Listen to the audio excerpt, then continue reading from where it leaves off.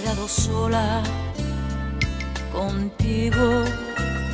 Él se fue esta noche, tuvo un compromiso, un asunto extraño, un asunto nuevo, un amor seguro que lo tiene preso. Me he quedado sola contigo y aunque sé que eres su mejor amigo, te pido que me ayudes a pasar la noche, que olvides quiénes somos y hasta quién amamos.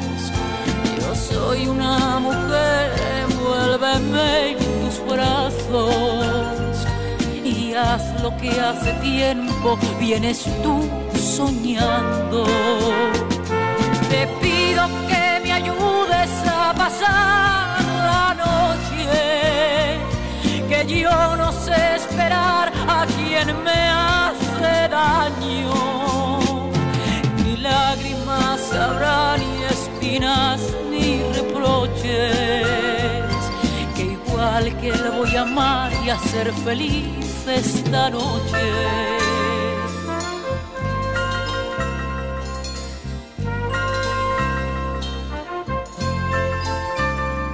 He quedado sola contigo.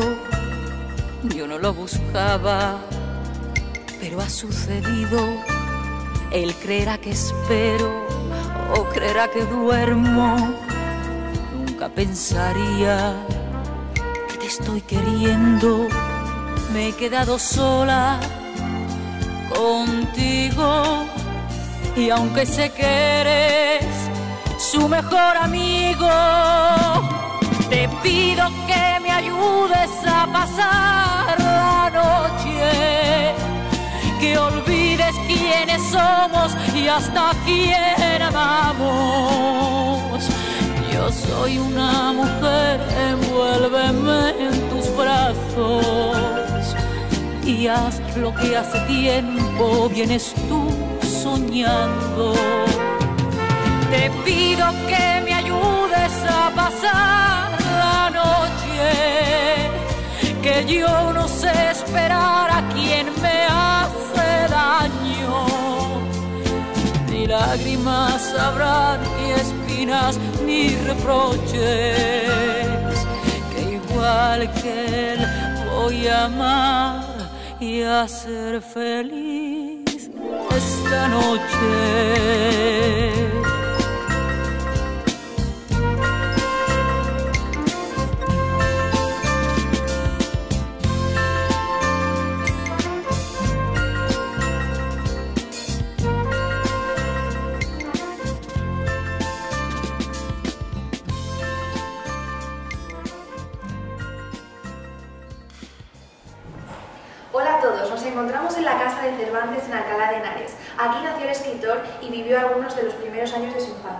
De la casa se conservan algunos muros y los objetos y muebles son originales de la época.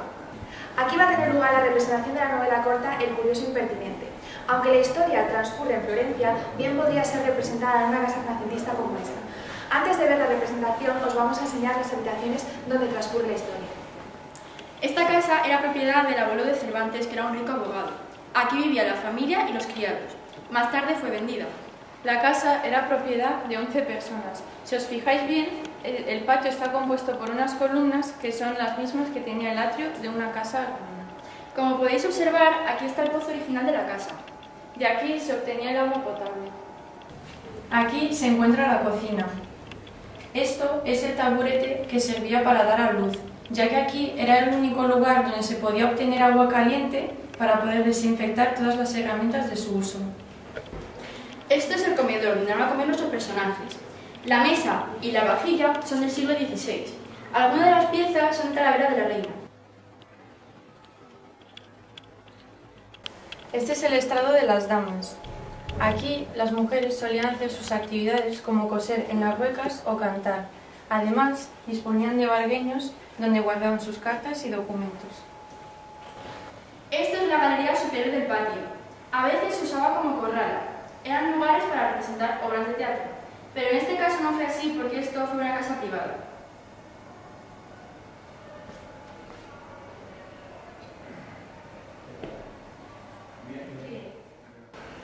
Y ahora veremos cómo se desarrolla la sabrosa historia del curioso impertinente.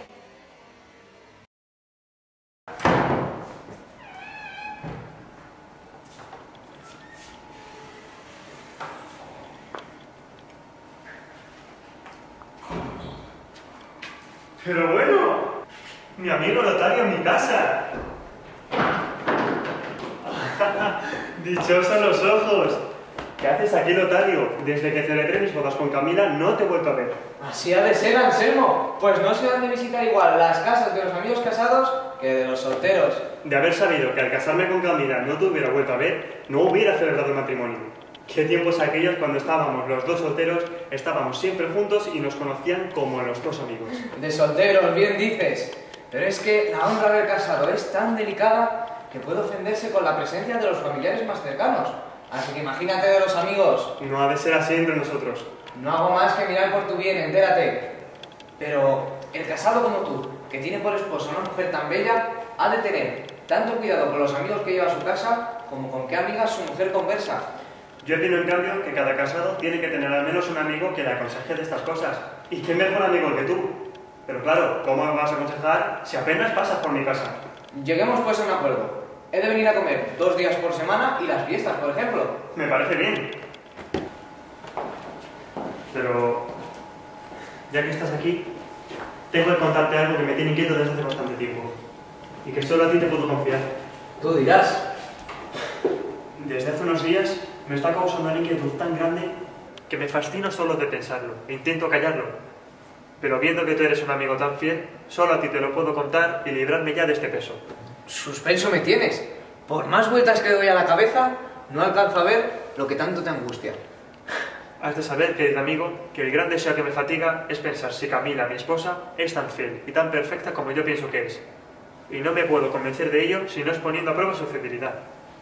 Porque yo creo que solo es fuerte aquella mujer que no se rinde ante las promesas, regalos o cortejos de otro hombre. ¿Y? Pues qué valor tiene una mujer que solo es fiel al marido porque no sale de casa. No voy a valorar igual a una mujer que es fiel al marido por miedo a él o porque no tiene ocasión de conocer a otro hombre que a una mujer que es fiel al marido a pesar de los cortejos de otro hombre. Curioso razonamiento. Pero continúa, que aún no sé a dónde quieres llegar. Deseo que Camila pase por estas dificultades que te acabo de comentar. Si ella sale, como creo que saldrá, victoriosa de este caso, yo seré el hombre más feliz del mundo. Si por el contrario sale mal, mejor saberlo ahora y no esperar a males futuros. Mira, Anselmo, que hasta ahora no te había escuchado decir una tontería tan grande. Dime, Anselmo, si tuvieras un diamante, del que todos los expertos te han dicho que es el más puro del mundo, ¿sería lógico que cogieras un martillo y golpeases el diamante para comprobar si lo que dicen es cierto? En el caso de que el diamante superase la prueba, sería el mismo diamante. Y si por el contrario se rompiese, te quedarías sin él. Pues Camilo es como ese finísimo diamante. En el caso de que saliese bien de la prueba, su valor y su fama no aumentarían. Y por el contrario, podrías perderla y no podrías echarle la culpa a nadie por ser tú mismo la causa de tu desgracia. Mira, se me han venido unos versos a la memoria que vienen como anillo al dedo para este tema.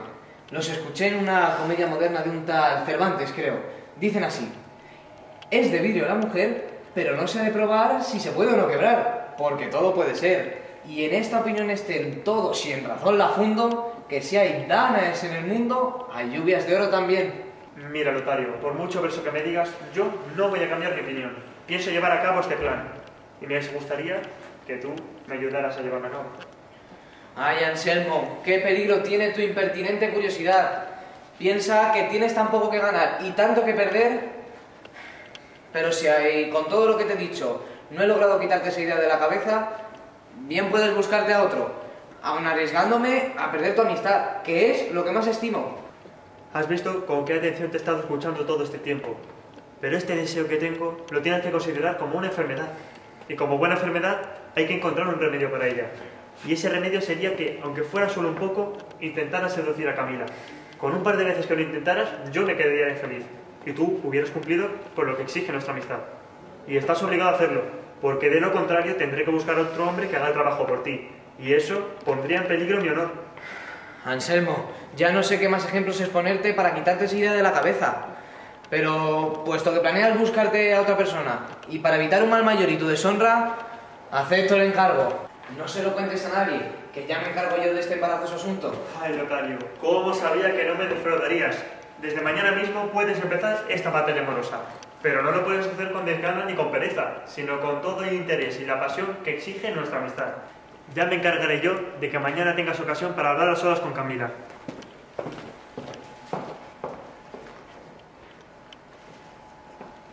Toma estos dineros y estas joyas para que se los entregues mañana a Camila para empezar así esta gran prueba de la que tanto depende mi felicidad. Hasta mañana, pues.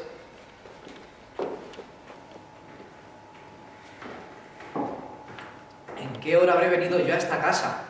¿Quién iba a imaginar que el amor y los celos llevarían a la locura a mi viejo amigo Anselmo, a quien yo creía más cuerdo? Ay, Anselmo, ¿qué haces? ¿Qué tramas? Mira que estás actuando contra ti mismo. Trazas tu perdición. No sé qué hacer para salir bien de este encargo tan impertinente. ¿Cómo puedo yo engañar a Anselmo sin ofender a Camila? Pues no puedo seducirla como pretende su esposo. En fin, ya veremos mañana.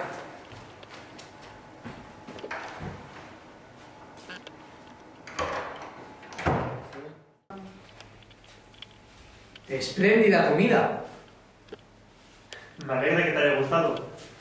Y ahora, si me permitís, tengo que ausentarme un momento por algo que me ha surgido. No tardo ni media hora.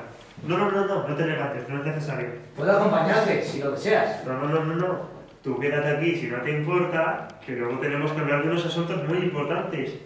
Y tú, esposa mía, no dejes solo a nuestro amigo en ningún momento y complácele en todo lo que él desee. Así será, esposo mío.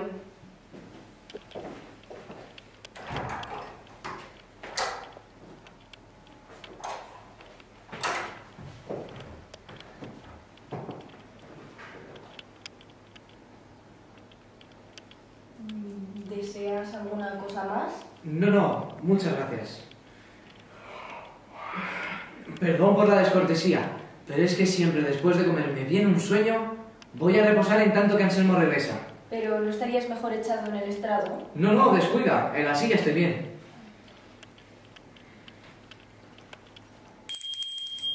Leonela, sí señora, tráeme el devocionario.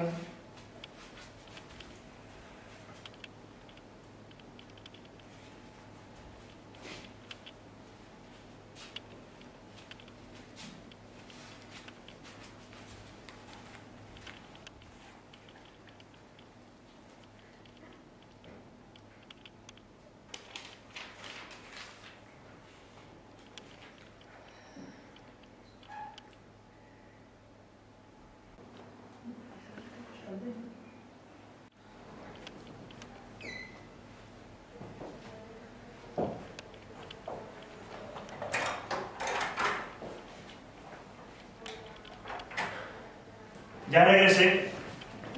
¿Has solucionado el asunto que te obligó a marchar? No tan a mi gusto como yo deseaba. Y ahora, si nos disculpas, déjanos un momento a solas, que tenemos que hablar de algo muy importante. Como gustes, esposo.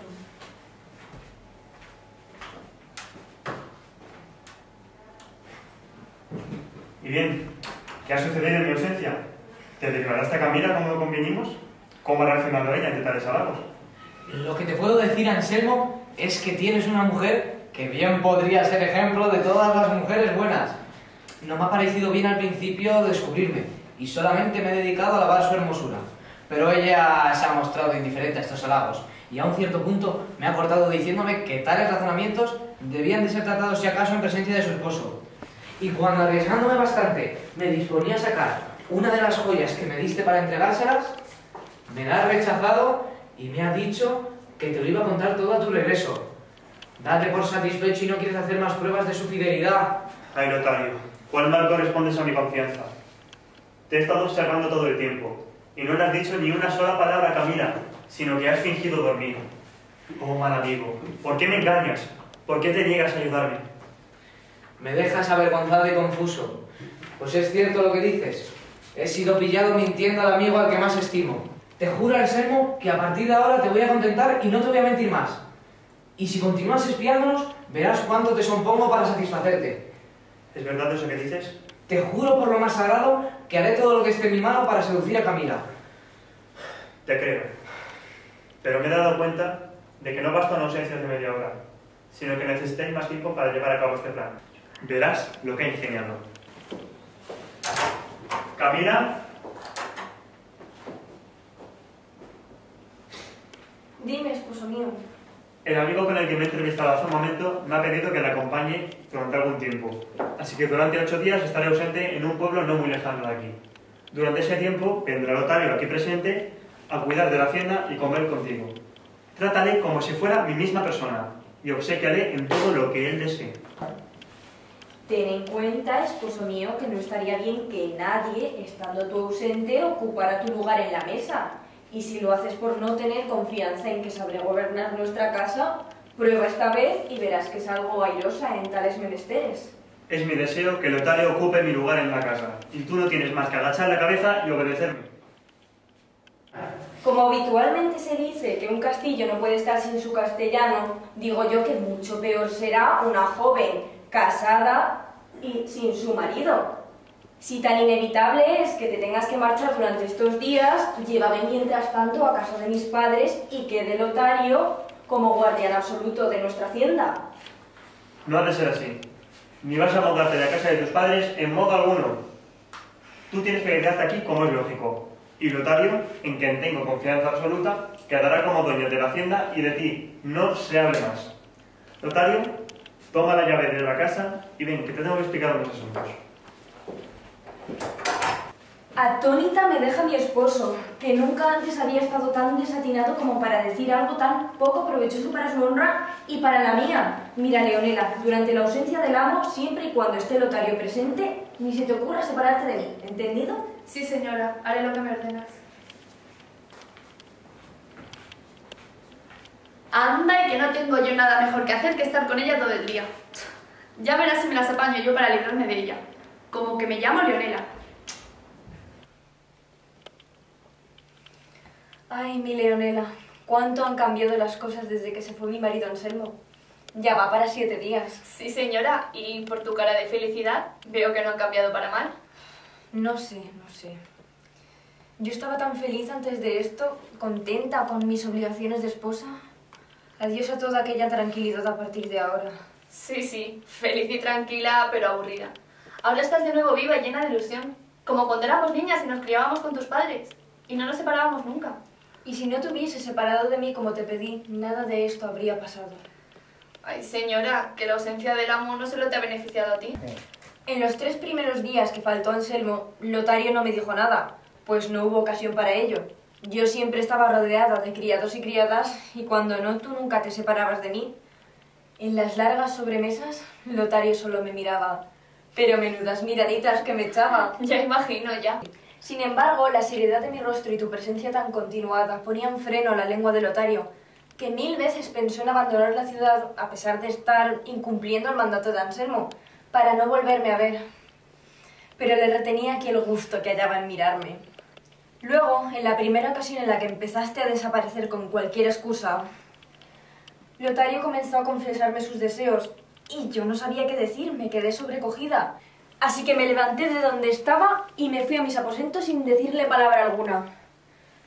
Pero a pesar de mi sequedad, Lotario siguió insistiendo aún con más fuerza y yo ya no sabía qué hacer. Entonces, aquella misma noche escribí una nota para Anselmo en la que me quejaba de la actitud de Lotario y le decía que me iba a ir a casa de mis padres durante el tiempo que él estuviese ausente. Y se la mandaste enviar.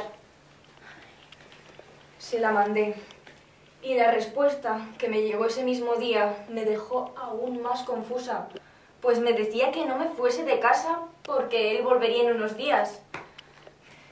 Indignada por su actitud de indiferencia, sin saber si es que no creía en lo que yo le decía, o peor aún, que pensaba que Lotario había visto en mí alguna ligereza. Pensaba resistir callada a todo lo que me dijese Lotario, confiada en mi firmeza y en Dios. Pero no resististe, señora. Ya sabes que no. Al día siguiente fue tal la vehemencia de Lotario que comenzó a titubear mi firmeza. Te rendiste. Sí, me rendí. Pero la culpa de ello la tiene tanto Anselmo como Lotario y yo. que no se vence al amor solo con huirlo. Bien que lo supe descubrir en tu cara esa misma noche. De entre todos los criados solo tú te diste cuenta de la flaqueza de tu señora. Y no sé qué hubiese hecho sin tus consejos ni compañía durante estos días. Es que una está metida ya en tales líos amorosos. Pero ahora, dime, ¿qué es lo que te inquieta? Que noto en tu cara cierta preocupación, cuando tendrías que estar alegre por lo que te ha llegado. Mi inquietud no es otra que la vergüenza que me da el pensar en lo poco que he sabido estimarme y estimar mi honra. Pues no retrasé lo suficiente la entera posesión de mi voluntad que tan rápido le di a Lotario. Temo que éste me desprecie por mi rapidez y ligereza al entregarme a él, sin tener en cuenta la fuerza con la que me acometió para no poder resistirle. No te dé pena eso, señora mía, que el valor de lo que se da rápido no disminuye si lo que se da es bueno y digno de estima. Y suele decirse que el que da primero da dos veces. También se suele decir que lo que cuesta poco se estima en menos. Eso no va por ti.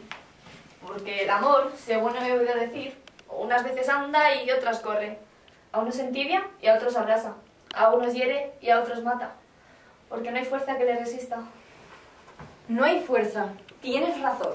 Y siendo así, ¿de qué te asustas? Si lo mismo debe haberle pasado a Lotario. Forzoso era lo que el amor tenía predestinado si concluyese en ausencia de mi señor. Cierto es que todo debería haber ocurrido en el plazo de una semana. Además, señora Camila, que no te entregaste ni te diste tan rápido.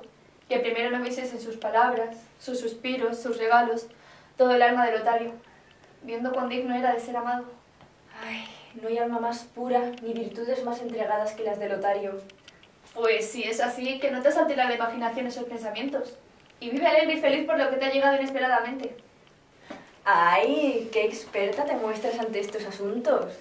¿Cómo sabes tanto de amor? Todo esto lo sé yo más de experiencia que de oídas. Y algún día te lo contaré. Que yo también soy de carne. Y de carne moza. ¿Cómo de carne? ¿Es que has tenido experiencia con alguna? Sí, señora. Que llevo algún tiempo tratando con un mozo bien nacido y bien plantado de esta misma ciudad. Pero, ¿cuándo tienes ocasión de verte con él si apenas te separas de mí? Esas ausencias de las que hace poco tanto te quejabas y que tan provechosas te han sido, no solo a ti te han beneficiado. Eso que me cuentas me sobrecoge. No habrás pasado a mayores. Sí pasé, créeme. Que el mozo es ágil y bien aprendido a saltar por la ventana que era mi habitación. Y que yo, como en un descuido, la dejo abierta. Ay, señor, y quiera Dios que esto no eche a perder nuestra honra. La tuya y la mía. Mira, Leonela, no le cuentes nada a tu amante de lo mío con Lotario, que las dos tenemos mucho que perder. Trata tus asuntos con precaución, que no se enteren de ningún modo a Anselmo o Lotario. Descuida, señora, que tanto cuidado de poner yo en lo mío como tú en lo tuyo, ahora que tu marido está por volver.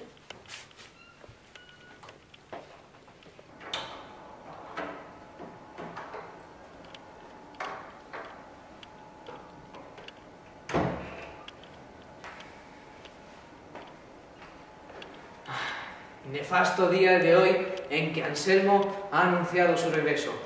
Nefasto, pues con su llegada se acaban todas las ocasiones fáciles de encontrarme con mi Camila. A partir de ahora, nuestros encuentros van a ser mucho más escondidos y más difíciles que los que hemos tenido hasta ahora. Por eso no he resistido a la tentación de levantarme al alba y venir a ver por última vez a mi amada Camila, antes de que su esposo regrese. Ay, Anselmo, qué mal amigo has encontrado en mí, impertinente curioso. Me pusiste al frente de la tentación que no supe vencer, pero hoy doblemente impertinente por venir a estorbar mi felicidad con Camila. Fíjate que en los primeros días no me atrevía siquiera a hablarla, pues tanta era su honestidad y compostura. La miraba buscando el momento exacto en el que declararme, y consideraba lo digna que era de ser amada y lo indigno tú, mal amigo, de poseerla, puesto que me habías encargado esta tarea tan deshonrosa. Pero al final, la hermosura y la bondad de Camila dieron al traste con mi lealtad, y a los tres días de estar tú ausente, comencé a seducirla con palabras amorosas, que por desgracia para ti ya no tenía que fingir.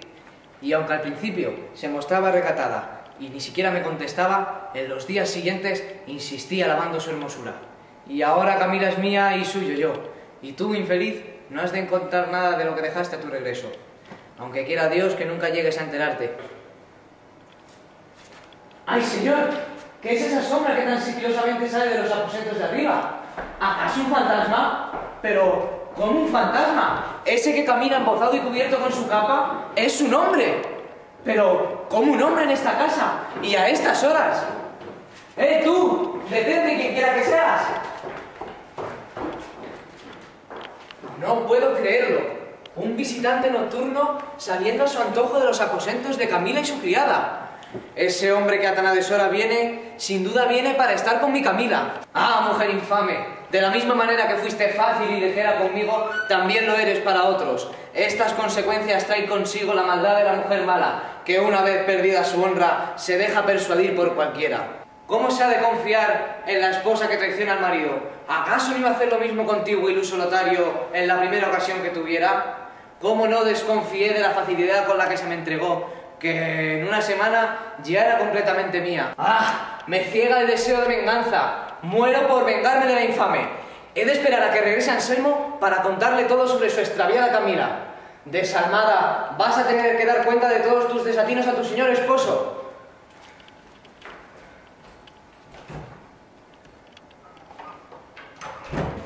¡Ay, Lotario! Cuando te dejé al cuidado de mi hacienda, no pensé que lo ibas a cumplir a la perfección. Y aquí te encuentro como buen perro guardián. Bienvenido, Anselmo. Esperaba ansioso tu regreso, pues sabía que habías de regresar hoy, para contarte todo lo que tratamos sobre tu esposa Camila. Pero mejor pasa adentro, que hace un frío...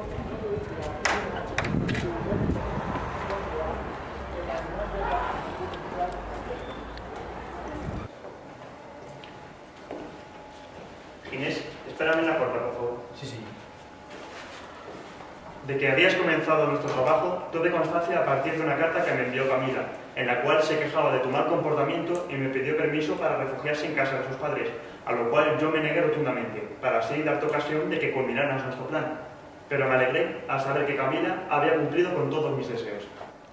Así que cuéntame, dime que tengo una mujer que bien podría ser ejemplo de todas las mujeres buenas. Explícame cómo ha rechazado ella todo lo que le has dicho. En resumen, dime si mi mujer es tan honesta como bella. Ay, Anselmo, qué descaminado andas. Tienes que saber que si en los primeros días resistió, como tú y yo pensamos que haría, desde hace ya algún tiempo su voluntad está rendida y totalmente sujeta a todo lo que yo quiero hacer de ella. En un principio dudé si se trataba de algún antojo suyo o si simplemente lo hacía por probarme y ver si eran firmes mis propuestas de amor. Pero ahora estoy convencido de que son verdaderas las promesas que me ha dado de que hoy mismo, antes de tu regreso, se me iba a entregar. Por eso aguardaba ansioso en la puerta, para que fueras testigo del punto al que ha llegado Camila en su deshonra. Absorto y suspenso me dejas, pues no esperaba estas palabras en este momento. Yo ya daba a Camila como victoriosa en este asunto y empezaba ya a saborear la gloria de la victoria. No quiero que te precipites y corras a cometer algún acto de venganza, pues no está cometido en el pecado, sino con el pensamiento. Y podría ser que desde que me lo dijo hasta este momento, su intención haya cambiado. Tú que siempre has seguido mis consejos, sigue este último que te voy a dar. No anuncies tu regreso. Envía a tu criado para que le diga a Camila que regresarás esta noche y quédate en alguna posada de esta ciudad. Luego, entra con sigilo a la hora acordada para encontrarme con Camila y escóndete en la recámara como hiciste la otra vez. Y desde allí podrás ser testigo por tus propios ojos y yo por los míos de todo lo que acontece. Y si vieses en ella algo de maldad, con sigilo y discreción podrás vengarte. Tú lo has hecho todo como bien conviene en nuestra amistad. En todo he de seguir tu consejo. Haz lo que quieras y guarda el secreto como conviene en este caso. Me marcho pues, que luego a la tarde volveré para ser testigo de mi desgracia y mi deshonra.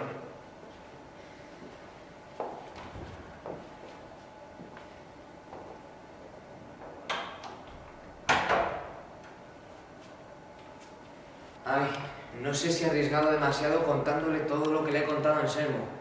No acaba de suceder y ya me arrepiento de todo lo que le he dicho. Los celos me han cegado. Podría haberme vengado yo mismo de Camila de una manera menos deshonrosa. Tendría que haber hablado antes con ella y aclarar todo lo que esta mañana sucedió.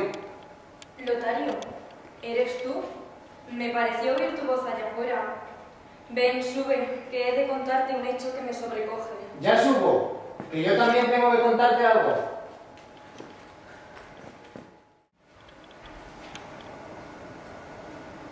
Tienes que saber, notario, que tengo una pena en el pecho que parece que me va a reventar el corazón.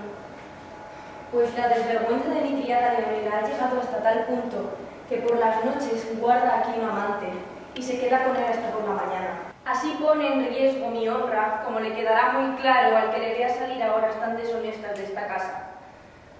Pero lo que más me fastidia es que no la puedo castigar ni reñir, pues el estar ella en el secreto de nuestro amor me obliga a callar los suyos.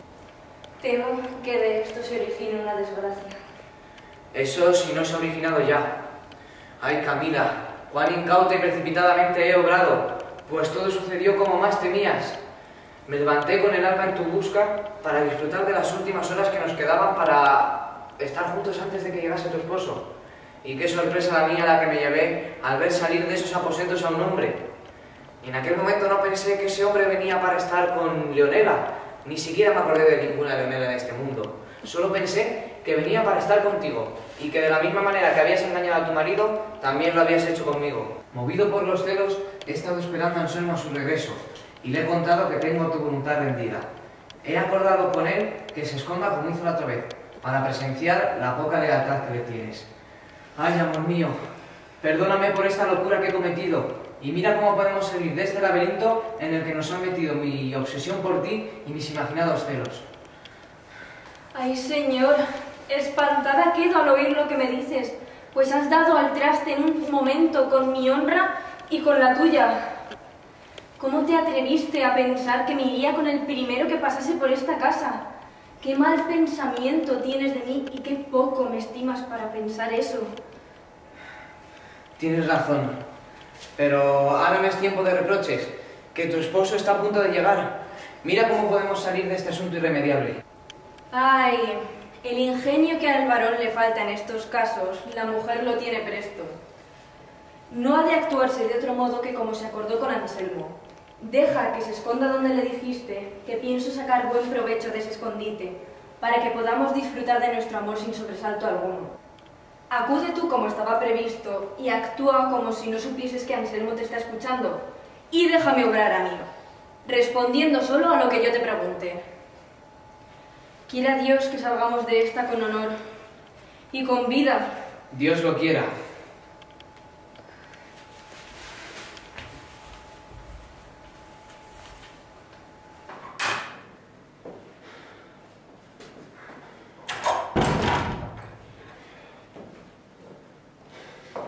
Entro en mi casa como un ladrón o un fugitivo, y todo para presenciar mi deshonra y mi perdición.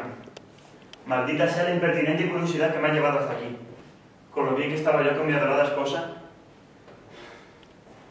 Pero aún así, no puedo creer lo que me ha confesado Lotario esta mañana. ¿Cómo ella, tan fiel a mí, ha podido caer ante los brazos de Lotario? Es verdad que Lotario es un hombre apuesto y encantador, pero aún así... Señora, Silencio, que ya llegan. Voy a esconderme a escuchar lo que aquí suceda y que sea lo que tenga que ser.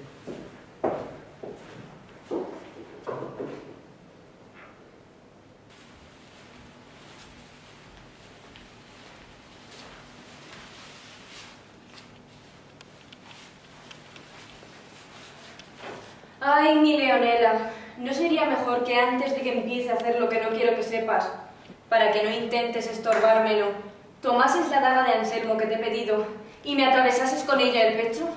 Pero no lo hagas, que no hay razón para que yo pague el castigo de otro. Primero, quiero saber qué es lo que vio en mi Lotario para atreverse a confesarme su mal deseo, despreciando así su honra y la mía. Asómate, Leonela, a esa ventana y llámale, que seguro que estará allí esperando a terminar su malvado plan. ay señora, ¿qué es lo que quieres hacer con esa daga?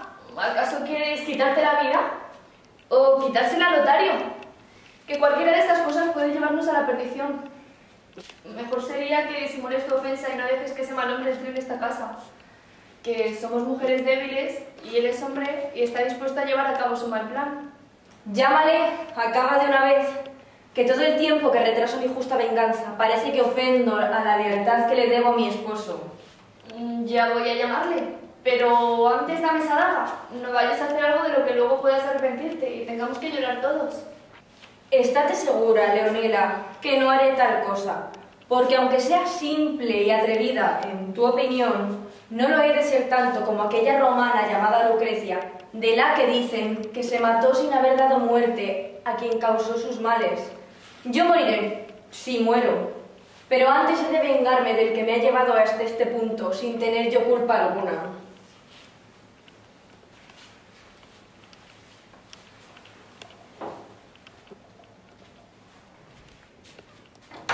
No debería haber despedido a Lotario como otras muchas veces he hecho, antes de que me tenga por deshonesta y mala. Mejor habría sido, pero yo no habría quedado vengada ni la honra de mi marido satisfecha. Pague el traidor con la vida lo que intentó con tan lascivo deseo. Sepa el mundo que Camila no solo guardó lealtad a su esposo, sino que tomó venganza de quien se atrevió a ofenderle. Lotario, mira. Si acaso te atreves a pasar de esta raya que ves, ni siquiera acercarte a ella, en el momento que vea que te acercas, me traspasaré el pecho con esta daga. No pensé yo, hermosa Camila, que me llamabas para plantearme algo tan diferente a la intención con la que yo venía. Ay, enemigo mortal, ¿con qué rostro te atreves a aparecer ante mí? ¿En qué opinión tienes Anselmo y en qué opinión me tienes a mí para atreverte a tanto? Ah, pero ahora caigo. Debe de haber sido algún desliz mío, que no deshonestidad, lo que te habrá llevado a tenerme en tan poca consideración. Si no, dime, ¿cuándo respondí yo a tus ruegos con alguna palabra o señal? ¿Cuándo tus amorosas palabras no fueron rechazadas por las mías con rigor y aspereza? Así, por tanto, quiero matar muriendo y llevarme conmigo a quien me pueda satisfacer el deseo de la venganza. Pero Camila, ¿qué haces? Señora, ¿qué te pierdes? Puesto que la suerte no quiere satisfacer un deseo tan honesto como el mío, no será tan fuerte para evitar parte de lo que pretendo. ¡Válgame, señor! ¡Que de esta con bien no salimos! Madre mía, que esta mujer ha perdido el juicio. Por fortuna, la herida es pequeña. En su turbación no alcanzó el corazón, que de lo contrario, ahora mismo no lo contaría. Señor, salid fuera id a buscar a quien en secreto la cure. Y decidme qué de decir si vuelve mi señor antes de que esté de nuevo sana y despierta. Que este suceso inesperado me ha atolondrado y no tiro con lo que ha de ser bueno para su honra y la tuya. Haz lo que te plazca, que no estoy yo ahora para dar consejo alguno. Que con tanta turbación y desasosiego me ha dado por pensar que Camila estaba muerta. Procura retener la sangre e inventa cualquier pretexto para este accidente, que yo me voy donde Anselmo no puede encontrarme. No ceso de hacerme cruces de lo fantástica que ha estado Camila y de lo apropiada que estuvo Leonela. Puede estar Anselmo satisfecho de que tiene por mujer a una segunda Lucrecia. Señora, vuelves en ti. Qué sustos nos has dado. Qué bien imaginaba tu loco propósito. Ay, y en qué poca consideración se debe tener el valor de las mujeres. Pues me han faltado el valor y el- ánimo para quitarme esta vida que tan aborrecida tengo. ¿Y qué le voy a decir a mi marido cuando vea esta herida? Mejor, señora, sería que le ocultes la verdad. Que no le dejarías otra que vengarse de Lotario. Y esto no podría ocurrir sin que corriera riesgos. Pero, ¿qué voy a decirle de esta herida que no podrá dejar de ver? ¿Qué mentira me atreveré yo a decirle, yo que nunca he dicho una mentira como si me fuese la vida en ello? Si no sabemos salir de esta, mejor será decir la verdad desnuda, que no nos pillen en un renuncio. No tengas cuidado, señora, que por estar la herida donde está y ser tan pequeña, quizá tu marido no la note. Y Dios siempre favorece las causas buenas y justas. Sosígate, señora mía, y no dejes que el amo te encuentre así. Y lo demás déjalo a mi cargo y al de Dios, que siempre favorece los buenos pensamientos. Que Dios nos bendiga. Admirado quedo de la virtud de mi esposa querida. Ya sospechaba yo de que no iba a flaquear lo más mínimo ante los ataques de mi amigo Lotario. Voy a buscarle y a celebrar con él esta joya que he encontrado en el corazón de mi esposa.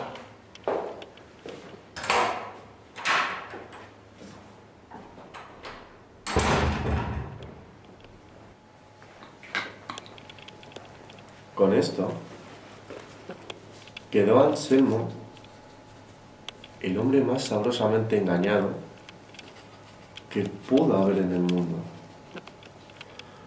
Duró este engaño algunos días, pero sucedió que Leonela viendo a su señora entregada de lleno a su amante y confiada en que ésta la habría de encubrir,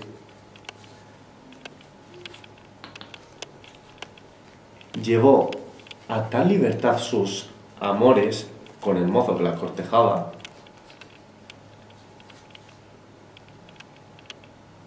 que una noche no pudo por menos Anselmo de sentir pasos y una voz varonil en el aposento de Leonela.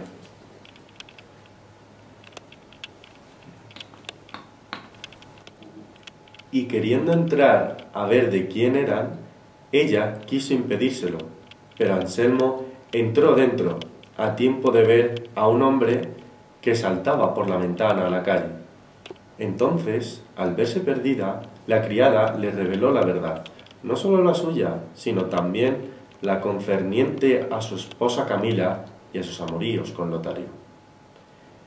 Camila, que al sentir el alboroto había acudido y escuchaba tras la puerta la conversación, no quiso escuchar más a este punto y, mientras la criada desvelaba su traición, juntó las mejores joyas que tenía y algunos dineros, y, sin ser oída, salió de casa y se fue a la de Lotario, a quien contó lo que pasaba. Le pidió a éste que la escondiese en algún lugar, o que se ausentasen los dos, donde de Anselmo pudieran sentirse a salvo.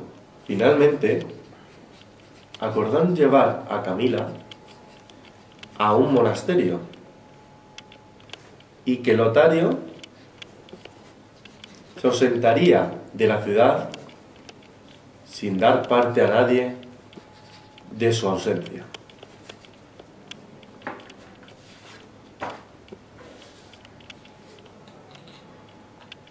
Cuando Anselmo dejó a Leonela y fue en busca de Camila, no la encontró. Y con esto, Anselmo cayó en la cuenta de su desgracia. Y, por no enfrentarse a tamaño deshonor, encerróse en su casa y no volvió a salir de ella en vida, dejándose morir de pena y dolor. Dícese que Camila, una vez se vio viuda, no quiso salir del monasterio, ni menos hacer los votos de monja, hasta que, de allí en no muchos días, le llegaron noticias de que Lotario había muerto en una batalla que, en aquel tiempo, dio el gran capitán Gonzalo Fernández de Córdoba en el reino de Nápoles, donde había ido a parar el tal arrepentido amigo. Al saber esto, Camila sí hizo profesión, pero acabó en breves días la vida a las rigurosas manos de tristezas, melancolías y arrepentimientos. Y este fue el fin que tuvieron todos, nacido de un tan desatinado principio.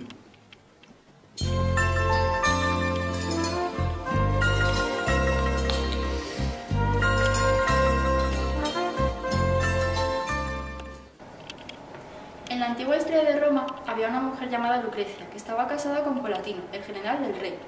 Ella tenía fama de ser una mujer muy buena, bella y honesta.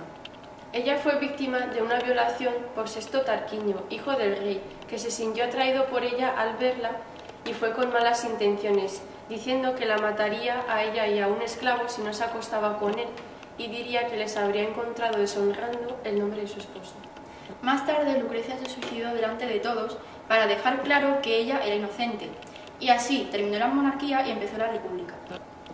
La historia de Lucrecia tiene que ver con esta obra, ya que Camila al principio es como ella, una mujer fiel y honrada, aunque más tarde acaba engañando a su marido. Y para que él no se sienta deshonrado, imita a Lucrecia haciendo que se clava una daga para quedar como una buena mujer. Así pues, Camila es una falsa Lucrecia que finge suicidarse cuando en realidad lo único que hace es convencer a su marido de que le ha sido fiel, no siendo así. Céfalo y Procris eran dos jóvenes que, a pesar de estar casados por conveniencia, se amaban terriblemente. Tanto se amaban que juraron no yacer con, nunca con otra persona que no fuera su cónyuge. Un día Céfalo salió de caza y mientras andaba por el monte fue descubierto por la diosa Eos, que quedó prendada por su apostura. Así que la diosa se presentó ante él y se lo llevó consigo. Céfalo, que se negaba a yacer con la diosa, le contó el juramento que tenía con su esposa Procris. Ante esto, Eos le propuso un pacto. Él bajaría a la tierra e intentaría seducir a su mujer eh, con otra apariencia y con muchas joyas que la diosa le proporcionaría.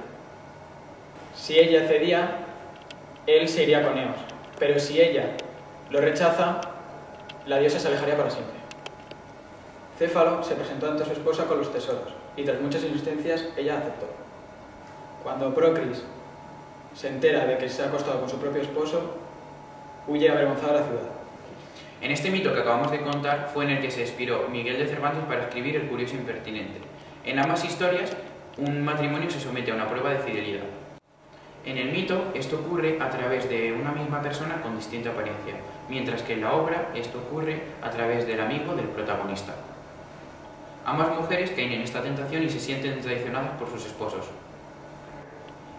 En los dos casos, al enterarse de lo que habían tramado sus maridos, las mujeres deciden vengarse.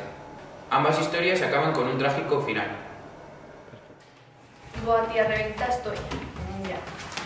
Hola chicas. Hola. Vosotras sois las que interpretáis a los personajes femeninos de la obra, ¿no? Sí. ¿Y qué tal? ¿Qué os parece? ¿Os gusta?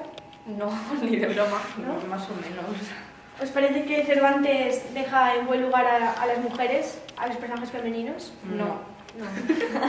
¿Y cuando leísteis la obra, os parecieron os, os pareció que reaccionaban de forma creíble? ¿Os, os, cre, ¿Os creísteis que realmente Camila se había enamorado de Lotario con cuatro cosas bonitas que le había dicho en tan poco tiempo? ¿O qué pensáis vosotros de eso? A ver, uno no se puede enamorar tan en plan, tan rápido.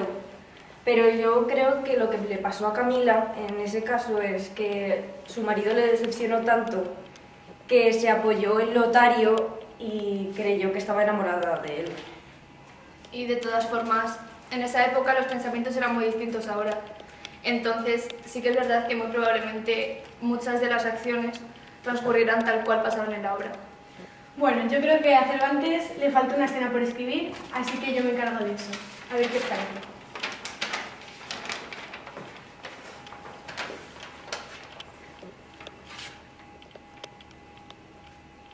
¿Ha marchado ya Lotario hacia su casa? Sí, mi señora. Alabado sea. No entiendo el motivo de su interés ahora que Anselmo no está. Por supuesto que conoce a qué se debe el interés de Lotario. Aquellos de alta posición se creen que los pobres somos más necios. Pero yo de necia no tengo ni un pelo de mi cabellera. Que los años y los desengaños me han hecho sabia. Anselmo, pobre infeliz, se piensa que ha salido victorioso con su treta, pero a legua se puede entrever su engaño, pues jamás mostró Lotario ningún interés por mi señora hasta ahora. Y yo, que observo callada y advierto todo lo que sucede en esta casa, hace tiempo que noté la desconfianza de Anselmo, que no es más que un hombre. Pobres criaturas inseguras y necesitadas.